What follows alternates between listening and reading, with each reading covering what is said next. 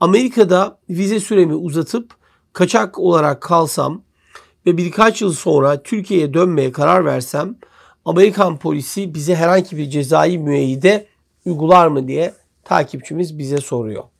Şimdi önce şöyle söyleyebilirim.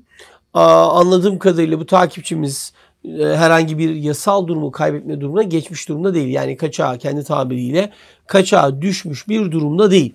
Dolayısıyla biz bu durumda öncelikle kesinlikle takipçilerimize tavsiyemiz kesinlikle yasal durumunuzu ihlal etmeyin ve yasal durumu süreniz bitmemiş olsun. Çünkü gerçekten bunun e, özellikle ABD'de bulunduğu süreçte e, göçmenlik görevlileri tarafından alınma riskiyle karşı karşıya kalıyorsunuz. Tabii ki şu anki dönemler çok daha karışık ve kişiler yasal durumunu kaybettikten 30 gün sonra göçmenlik görevlileri tarafından e, aranmaya başlıyorlar. Ve eğer herhangi bir şekilde bulunma durumu olursa bu gözaltına alınma ve sınır dışı mahkemesine gönderilmesi demektir kişinin ve kişinin birkaç ay belki en az içeride tutuklu kalmasına yol açar. Dolayısıyla kesinlikle biz sizin burada uzatacağınız sürede bile yasal yollarla uzatabilme durumunu değerlendirmenizi öncelikle tavsiye ediyoruz.